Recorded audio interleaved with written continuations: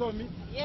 Before launching demarcation pillars, leaders together with the Nature Uganda officials held meetings with the residents to sensitize them about the dangers of wetland encroachment. But we shall institute measures of enforcement, including prosecuting some of you in two courts of law. I'm begging you not to tempt me to use the hard approach. They urge those living in wetlands to vacate them. But they have understood that they will keep on using their land.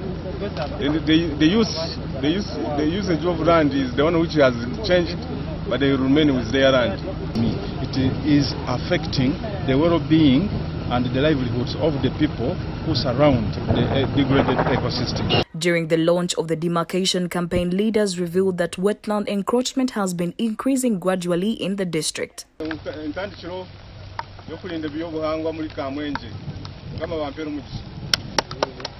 So the exercise that we have just launched with the RDC is meant only to do two things. One, to show the people that this uh, point where the pillars have been installed, insta- installed is where activities should stop.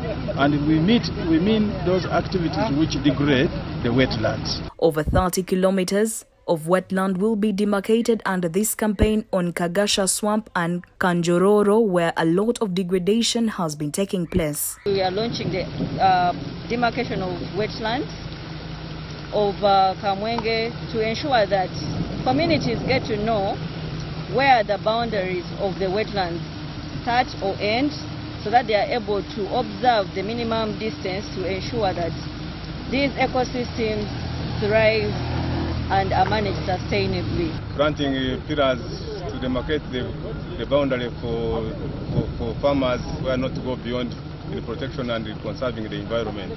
Residents and local leaders held Nature Uganda for its initiative in the demarcation campaign. Wetland encroachment is increasing despite the presidential directive. They can use wetlands for beekeeping, they can use wetlands for forestry, but they are not allowed to dig. Otherwise, they want to, they can remain with the wetlands to let the ecosystem regenerate, so that the people can also access the wetlands for services, e.g., firewood, water, papyrus, and some herbs for medicine. Leaders say they lack enough resources to implement the directive of removing people from wetlands in order to protect them. Report compiled by Anthony Atwine for the news.